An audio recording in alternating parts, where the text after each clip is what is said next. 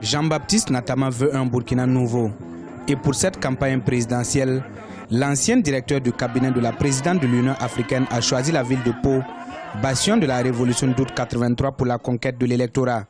Natama Akosiam, c'est la traque contre le népotisme, la corruption et la lutte contre la pauvreté. Quand nous allons prendre le pouvoir, fini les attentes dans les urgences médicales parce qu'on on attend que vous payiez un médicament.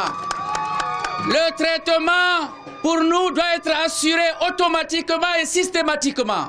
Parce que pour nous, l'urgence doit prendre le pas sur l'argent. Camarades, pour en revenir à l'éducation, nous avons encore des enfants au Burkina Faso ici qui vont à l'école sous des paillotes. Cela n'est pas normal.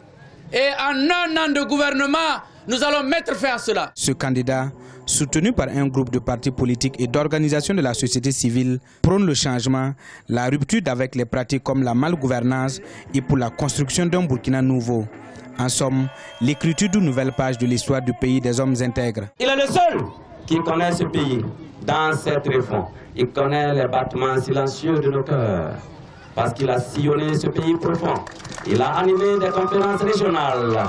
Le rapport du Mayotte est un condensé de 556 pages, minutieusement écrites, dans lequel on décrypte la gouvernance politique, économique, sociale et des entreprises de notre pays, en en démontrant les limites, les insuffisances, avec des propositions et des recommandations fortes, soutenues et pertinentes, en vue de redresser définitivement notre pays pour le repositionner dans le concert des nations. Candidat indépendant, son programme de société s'inscrit dans la lutte contre le chômage, une agriculture plus développée pour une autosuffisance alimentaire.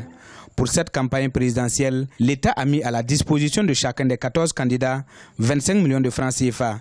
Il est le seul à l'avoir refusé et souhaite qu'elle soit investie dans des infrastructures sanitaires et éducatives au profit des populations.